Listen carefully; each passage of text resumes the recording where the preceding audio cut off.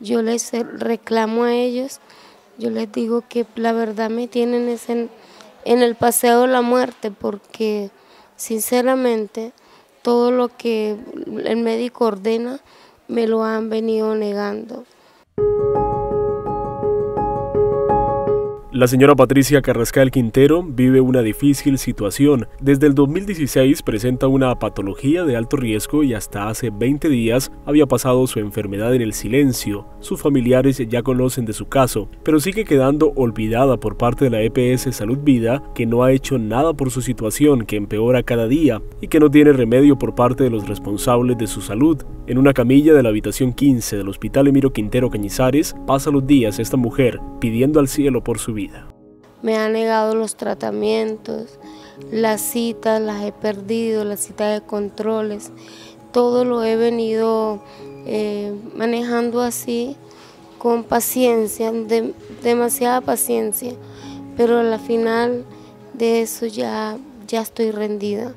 La verdad estoy rendida porque aún ahorita desde el sábado antepasado estoy acá hospitalizada necesito una remisión para el instituto allá en Bogotá y la empresa ha hecho caso omiso a eso.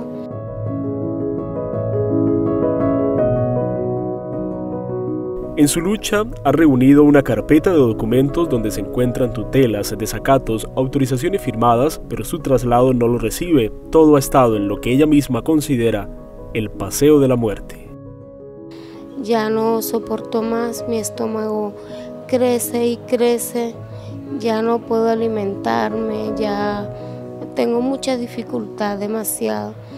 Y me dicen que para mañana, que están haciendo la vuelta y eso, y a la final es falso porque aún mire cómo estoy en este estado de salud, es culpa de ellos, porque el médico tratante me mandó, me ordenó un medicamento y por falta de, consumirlo, eh, mi estómago se puso así, ya pues requiero de cirugías, pero los médicos me dicen que es un poco tarde por el hecho de que falla el tratamiento, el problema avanzó. La espera se hace más larga para Patricia en el Hospital Emiro Quintero Cañizares, donde ha tenido una atención médica adecuada, pero ya por su salud no puede comer normal y las horas son eternas, el desgaste es cada vez mayor, las ganas de vivir aumentan, pero la incertidumbre coge fuerza. Ya es justo de lo que me han hecho sufrir. Que se pongan la mano en el corazón y que, que miren que es una vida que está en riesgo que es una vida que está en peligro, que ellos tienen todos los medios para salvar una vida, que por qué razón son tan injustos, que yo en todo momento que he solicitado el servicio, sean conscientes que he ido de muy buena manera a solicitarlo, pero no lo he recibido de esa forma. Lo más preocupante para la familia es que la enfermedad progrese y ella no tenga ningún tratamiento, que siga siendo excluida por una empresa que dice preocuparse por la salud de sus usuarios, Salud Vida. Entonces, ¿a dónde está el amor? ¿A dónde está la dignidad? ¿A dónde están los derechos humanos? ¿Dónde está el querer salvar a otros, el querer servir a otros?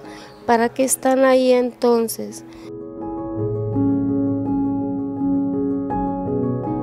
Es la petición de una mujer que cada segundo quiere vivir y que está en manos de quienes son responsables de su salud y de su tratamiento médico.